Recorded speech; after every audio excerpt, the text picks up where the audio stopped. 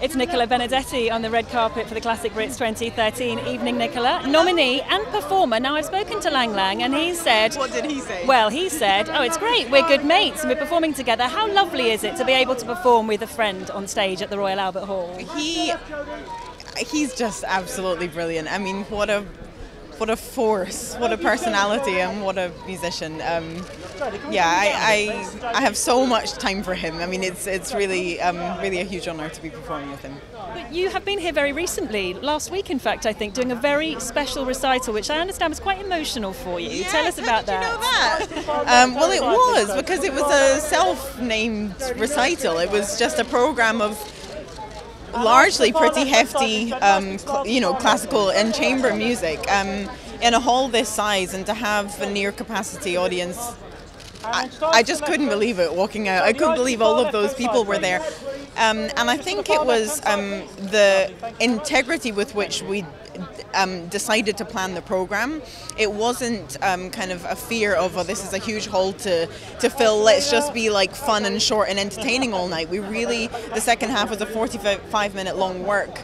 Um, and I and I spoke a lot to the audience throughout the evening, and I think we just we believed in everything about the day. And when I say we, I, say, I mean me and, and all the musicians I was performing with. Um, it was just it was emotional for many reasons. But as we say, a lot of friends in the audience, and an opportunity perhaps to let your hair down a little tonight. And you are a nominee, and also celebrating a decade in the industry, Nicola, Yeah. this year as well. How have you noticed it change? The industry.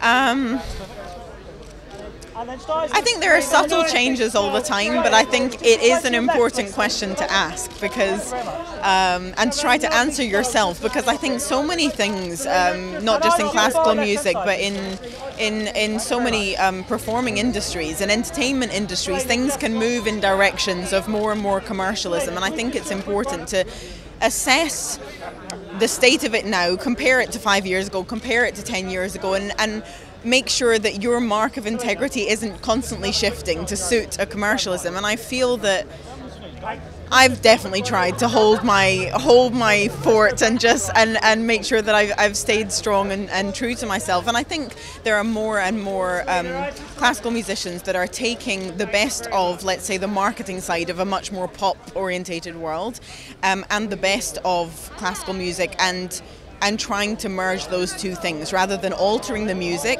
or shunning the marketing. I think we want to get the best of marketing out there. And of course, your workload is testament to how passionately you feel about it. But I understand the Queen has told you to take some time off. Have you heeded Her Majesty's advice? Um, this this summer, I, I did actually take a little bit of time off. Tell her about it and enjoy tonight. Thank you so much. Thank you.